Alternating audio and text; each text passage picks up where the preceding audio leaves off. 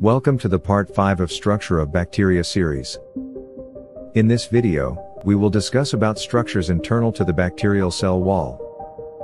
The main structures that are present inside the cell wall are plasma membrane, ribosomes, cytoplasm, mesosome, genetic material, and plasmid.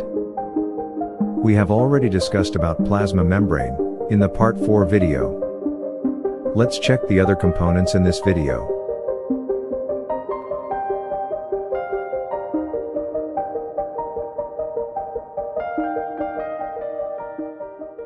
Ribosomes present in all living cells.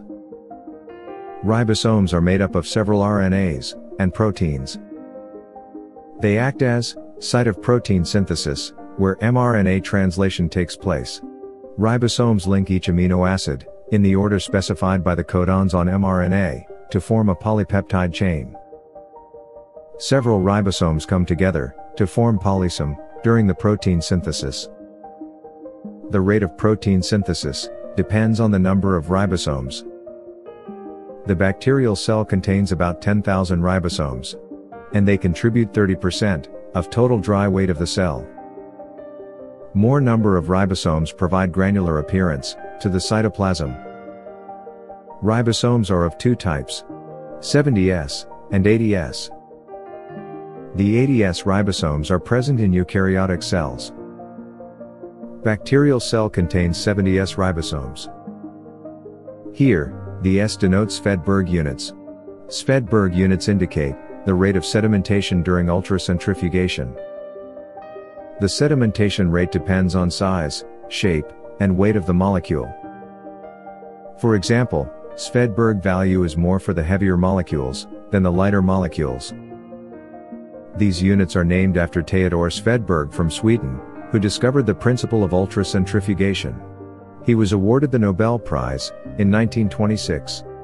The 70S ribosome is made of two subunits, a small and a large subunit. Smaller subunit is of 30S, and the larger one is of 50S. Similarly, the 80S ribosomes in eukaryotic cell consist of a 40S and 60S subunits. However, we are not discussing about it here. The smaller subunit in 70S ribosome has 16S RNA and comprise of 1540 nucleotides bound to 21 proteins. The larger subunit has 5S RNA and 23S RNA.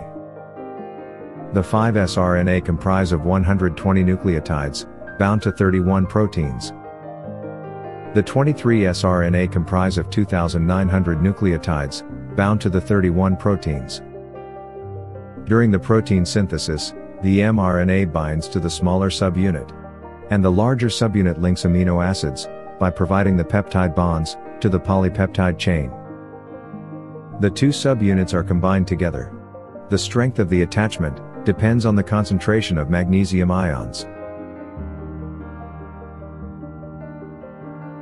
Cytoplasm, also called as protoplasm, is a jelly-like structure, and composed of 80% of water. The other 20% is composed of enzymes, nutrients, metabolites, and cellular wastes etc. All the cell components are scattered throughout the cytoplasm. Cytoplasm not only hosts the biochemical reactions in the cell, but also protects the cell organelles from damage. That's it for now. Let's see the other cell components in the next video. Thanks for watching.